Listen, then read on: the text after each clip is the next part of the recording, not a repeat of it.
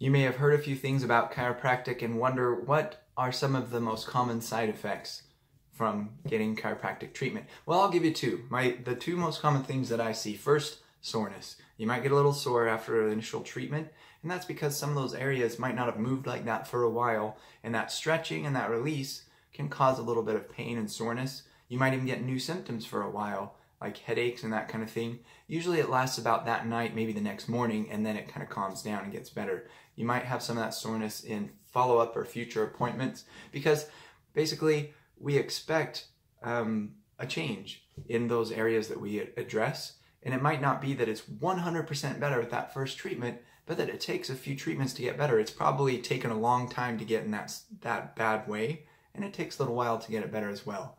The second most common thing I see in my chiropractic practice is relief. Um, that might sound silly, but relief is actually a very common thing in chiropractic because um, there's something that's been blocking or impeding or you know holding really tight for such a long time, and finally it's relieved. And that relief is one reason why people come back to see a chiropractor when they've got new problems or when they just want to make sure things don't get bad. They want to keep that relief in their body. So don't be afraid. Come give us a try because you can get that relief, and the side effect of the soreness is really worth the risk.